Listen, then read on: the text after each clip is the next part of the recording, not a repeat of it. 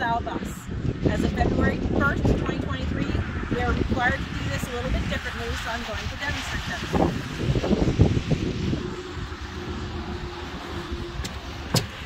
The change requires us to do safe start and parking tests, parking brake tests and service brake tests and all of that other test at the beginning. Okay, so I get in the bus, I sit down, I turn my key. My gauges reset and my ABS light comes on and goes off.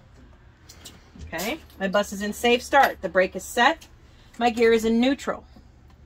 I'm gonna turn the key. The first one I'm gonna do is my service brake test.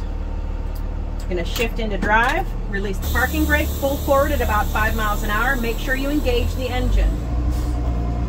Come to a stop. The steering wheel did not pull to the left or the right. Reset the brake, leave it in drive. Now I'm going to do the tug test. Bus did not move. I revved it to about 12 to 1500, right in between there. My air pressure is still rising. I'm almost to 120. I'll give it a minute here to finish building. If it's too low, you can give it a little bit of a rev to help it along, but it's not too bad. There you go, air compressor. Air compressor has reached the cutoff of 120. Five. I'm going to turn the key off and back to the right. Okay. To start my CDL brake test, I'm going to release the parking brake. Make sure I'm still in, back in neutral. I'm going to release the parking brake. Once the gauge settles, I will time it for one minute for no more than 2 psi loss. Starting now. And you want to watch both gauges not just one. Back and forth from your watch to the gauge. Make sure that examiner sees your head move, even if it's ever so slightly. They want to see you looking back and forth. They will make you wait up to one minute, but for the purpose of the video, I'm only going to go 30 seconds. Okay, still no movement.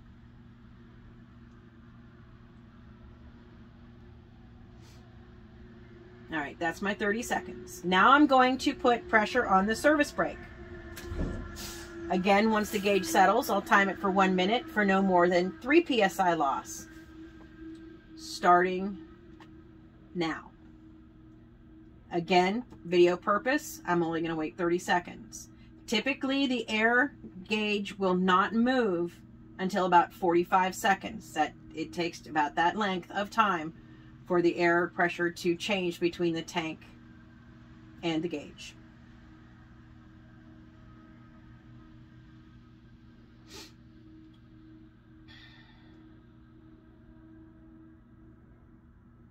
Okay, there's my 30 seconds. Now I'm going to pump the brake. My low air warning light and buzzer should come on at or above 60.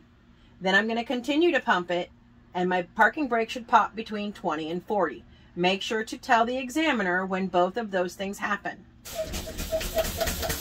If you want to stop when your light and buzzer come on, you can do so.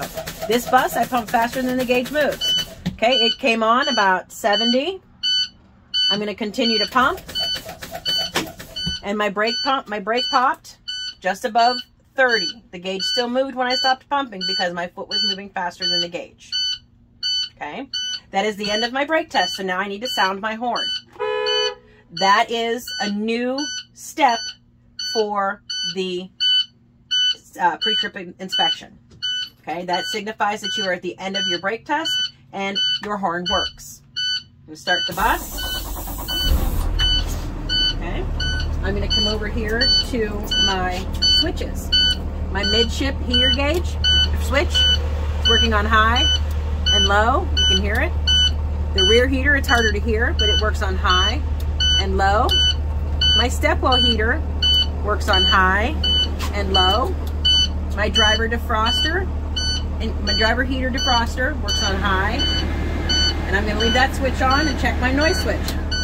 Noise switch is working. There is the low setting. My defrost fans on the windshield work on high and low. Come over here my flasher light, which is the Amber Student Warning Lights. I'm going to hit that button. My Amber Student Warning Lights come on on the dashboard and over here on the side panel. When I open the door, they change to red here and here, and the stop sign comes out, lights turn red, and the arm comes out. When I close the door, those things cancel. When your light and buzzer go off, you're gonna be more you're gonna hear the buzzer more than you see the light. So you can tell them my my lower system my lower warning system shut off at 80. It's it's hard to tell on your gauge. So that would probably be about 75 each notch, 15 notch. 15 is each notch is 15. Over here I'm going to put on my headlights. My dashboard lights up. I have just, I'm above three quarter tank on the DEF. You've got to tell them what the gauge reads. If it's green lights, tell them how many green lights. If, if you have a gauge that reads a percentage, tell them the percentage. My water, my water temperature is rising, but not above 220. My oil pressure is between 30 and 50. My speedometer worked on the way here. My volts read between 12 and 14. I know this gauge is reading above 14. It is okay. I have enough fuel for the trip. My air pressure is still building. My windshield is not broken, cracked, has no has it's and has no stickers or obstructions. All seven of my mirrors. One, two, three, four. Bottom is five, top is six. Student mirror is seven. They are adjusted for me. None of them are broken or missing. My wiper blades are flat to the windshield. They are not ripped or torn. I turn them on. All settings. They work on all settings. And the squirters are squirting. While I was talking, I heard my air compressor reach the cutoff of 125. Okay. I'm going to turn my wheel so when I'm outside, I can see my parts better.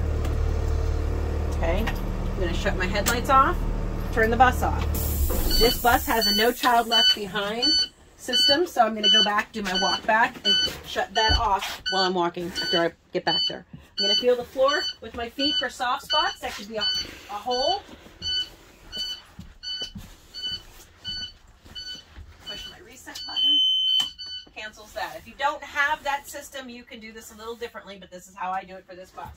When I lift my lever, the red lever, could be black on yours, but when you lift the lever, lights and buzzer come on. Door opens easily. Close the door, close the lever, lights and buzzer go off. Check your seats. You want to check the back side of the seats on this one. Make sure that they're secured. Get to your roof hatch. Turn the lever till the, till the lights and buzzer come on. You do not have to open it, but you have to tell them what you would expect and demonstrate how you would do it. Close the lever, lights and buzzer go off. You can check a couple more seats up to your emergency windows. When you get to your emergency windows, lift the lever, open it up, lights and buzzer come on, close it, close the lever, lights and buzzer go off. I would check my other roof hatch, an emergency window, the same. Your bus may have four emergency windows. That's okay. You would just tell them I would check the other three windows the same. To continue up. I'm to put my gloves on because it's cold. Okay, my road kit right here behind my driver's seat. It has three reflective triangles. I do not have the flares in here because they are not required in Ohio anymore. They are now an option. My body fluid and first aid kits are secure to the bus. They are fully stocked. I have my spare fuses either in my first aid kit or my road box.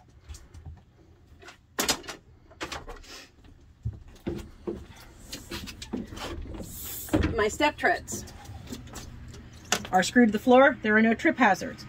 My five pound ABC rated fire extinguisher is fully charged. Needles in the green. Pin is in place.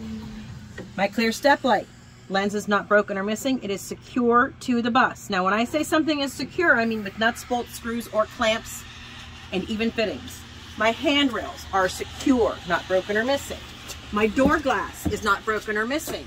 My window and door seals are not ripped, torn, or showing signs of leaks, and my door hinges are not bent or twisted. They move easily. Okay, I'm going to lift my hood latch. It's not ripped, or, not ripped or broken. I'm going to pull on my mirror bracket. My mirror brackets are not broken or missing. They are secure to the box. I'm going to lift this hood latch.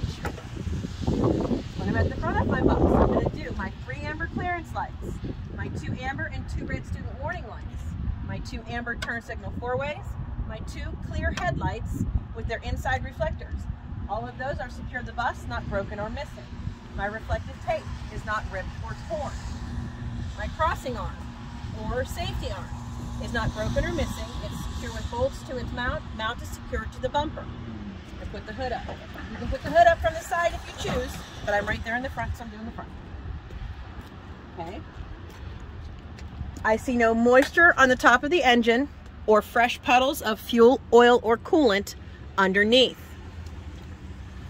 Any of those would indicate a leak. The wires are not bare, broken, or frayed. My hoses reach across. Touch your hoses. Do not count your brake hoses. Those are separate. None of my hoses are bulging or leaking. I'm to follow my air hoses down to my air compressor. It sits just inside the frame rail there. Follow them down. You can see it here. Okay, follow them in. The air compressor and power steering pump. Typically, they are connected because the oil that runs through one runs through both. Okay, the air compressor and power steering pump are gear driven and secured to the engine. The air compressor is not leaking air or oil. The power steering pump is not leaking oil. Okay, my oil and transmission dipsticks should read between add and full. I would check my oil daily on a cold engine, my transmission fluid weekly on a warm engine. My coolant and power steering fluid are both between add and full. Their caps are tight and I see no leaks. My steering shaft has no more than two inch play. It is not bent or twisted. U-joint is tight. The gearbox is secure to the frame, not cracked or leaking. The pitman arm, drag link, upper and lower steering arms, and tie rod. It sits back here behind that axle. Sometimes it's hard to see. None of those are bent or twisted, and they are all secure with castle nuts and cotter pins. The castle nut looks like the top of a rook piece in a chess game, or the turret of a castle. There, that's how it gets its name. Okay. The front and rear suspension mount, it's back there. They are not bent or broken or loose. They are secure to the frame. Pick one. Secure to the frame and not broken works. The springs are not cracked, shifted, or missing. Pick one. They are not cracked, they are not missing, they are not shifted. Okay? Two U-bolts. They're secure with two U-bolts and four nuts. The U-bolts are tight and not broken. The upper and lower shock mounts are secure. The shock is not leaking or bent. Here comes your brake hose. Brake hose is not bulging or cut. It is secure. The brake chamber is not cracked or dented. It's not leaking air. The slack adjuster and push rod. Slack adjuster is the bottom part. The push rod is the fork that comes out of the brake chamber. They are secure with a lock, nut, and pin. With the brake set, they should be at about a 90 degree angle. With the brake released, you shouldn't be able to pull the push rod more than one inch, but you will never do it by hand. You need a, you need a special tool to do it. I'm going to look through the sight hole here on the backing plate. I'm to look in there to make sure the brake lining is not worn dangerously thin and I see no grease or oil. I'm going to move on to my tires. My inner and outer sidewalls show no abrasions, bulges, or cuts. My tread depth is wearing evenly, has no less than 430 seconds depth, and it is not a recap. The air, the air valve or valve stem is centered on the rim. Metal cap is tight. I do not hear any leaks. I would use a gauge to check the pressure but I don't have one. So I just visually inspect the tire to see if it's low or flat. The rim has no cracks or illegal welds. All of my lugs, nuts, and bolts are present and tight. I see no rust trails or shiny threads that would indicate looseness. The hub oil seal cap is not leaking. There's no puddle here on the rim or a spray pattern on the wheel. I go around to the other side.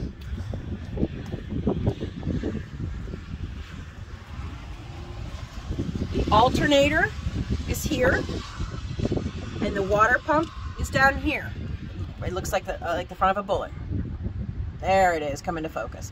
Okay, they are belt driven. The alternator's wires are not worn or frayed. The water pump is not leaking water, coolant, or antifreeze. Any one of those three because water and coolant, water and antifreeze create coolant. Okay, the serpentine belt. Actually touch it. Is not worn or frayed. Has no more than one half to three quarter inch play when pushed on. Okay, over here I would check my front and rear suspension mounts, springs, U-bolts, and shock absorber the same as I did on the other side. I would check the brake hose, brake drum, slack adjuster, push rod, I'm sorry, brake chamber, not drum, brake hose, brake chamber, slack adjuster, push rod, lining through the peephole, and drum from the outside, the same as on this side as I did the other. I would check the tires and inflation the same on this side as I did the other.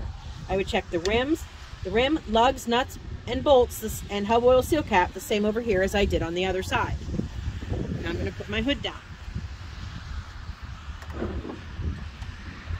The next change in the pre-trip inspection is, for a school bus, you need to inspect down the passenger side of the bus first. My hood latch is secure. You can do this light either coming in or going out. I've already done the step light, so I'm going to do this one right now. My entrance light is secure to the bus, not broken or missing.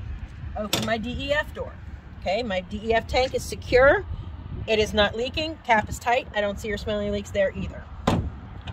Okay, my amber turn signal four-way and my amber, amber front, center, and red rear clearance lights. They are secure to the bus, not broken or missing. My reflective tape, including my amber front, center, and red rear circle reflectors are not ripped or torn. Now we're going to go underneath. The frame, cross members, and floor are not bent or twisted. I see no excessive rust that could be a hole. The exhaust goes from the engine to the tailpipe. It is not bent or twisted. I see no rust or soot that could be a hole, and it is secure with brackets to the frame. The drive shaft is not bent or twisted. It is secure with carrier bearings and brackets to the frame. The U-joint is tight. The U-hangers are in place. Also down here, I'm gonna do my cross check. Now you can do a cross check, you can look across, or you can just stay right here and talk on this side, whichever one you see better. I would check my rear suspension mount, springs, U-bolts, and shock absorber the same back here as I did in the front. I would check my brake chambers, brake hose, slack adjuster and push rod. The slack adjuster and push rod is on the back side of that air chamber. Drum and lining, the same back here as I did in the front. My two tires, I would inspect the same back here as I did in the front, except I have two. There's no debris between the bud wheels and no gap between the rims. The tread depth back here can be no less than 230 seconds. I would check the inflation the same back here as I did in the front. I would check the rims, lugs, nuts, and bolts the same back here as I did in the front. I would check the axle seal. It is not leaking and there's no puddle on the rim.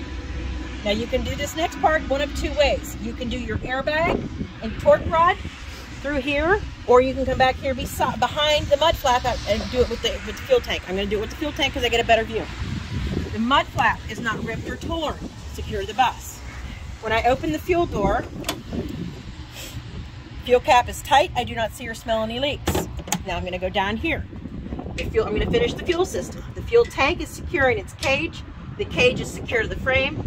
I do not see or smell any leaks. Now I'm going to look over here. I can see my airbags. They are fully inflated. Not ripped, not leaking. There's a torque rod between the frame rails.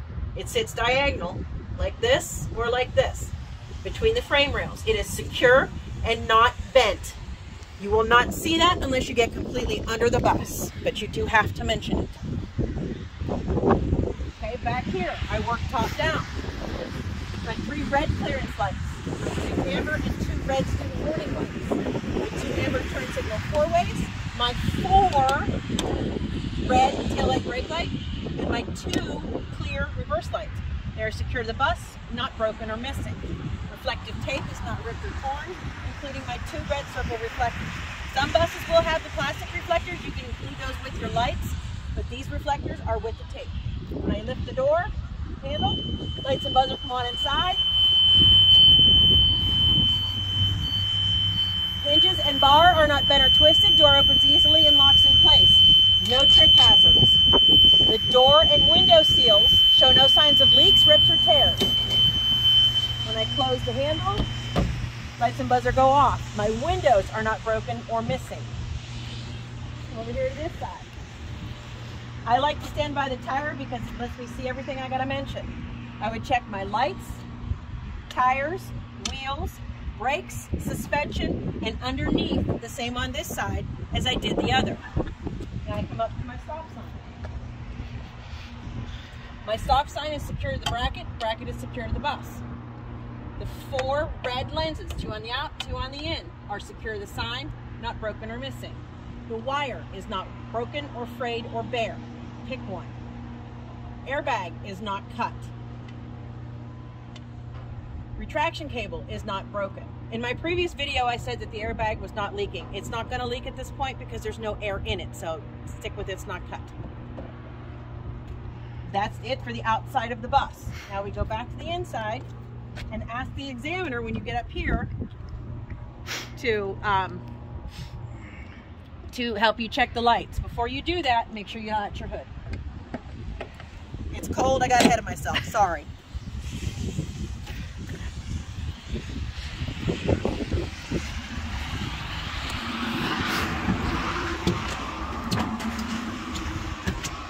All right. I'm going to turn my key to the right. You don't have to wait for anything to cycle because you're not starting it up. I'm going to put my headlights on. I'm going to start from the top down.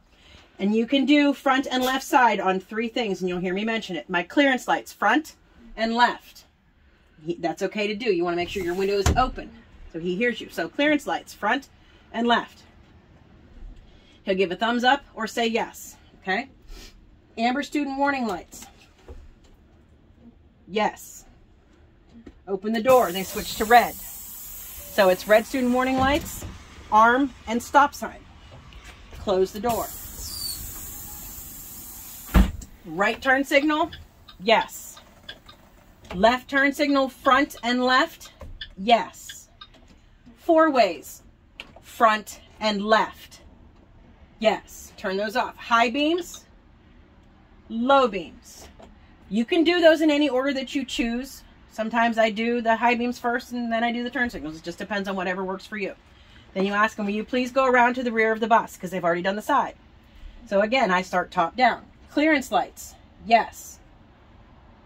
Amber student warning lights, yes. Open the door, red student lights and stop sign because there are still two red lights on the back of that stop sign that you will not see in this mirror. Yes and yes, close the door. Left turn, right turn. You don't want to have him do the rear and the right because then he's going to have to go to that side of the bus to see it and he, you will not see or hear him. Okay, so just leave it at front and side. Okay, four ways.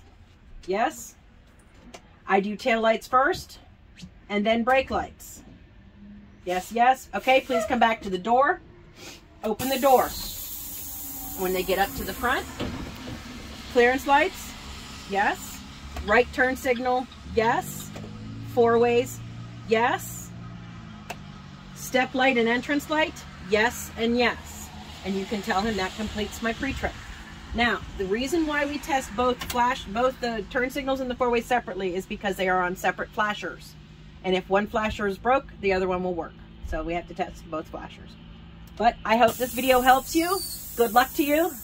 Happy busing!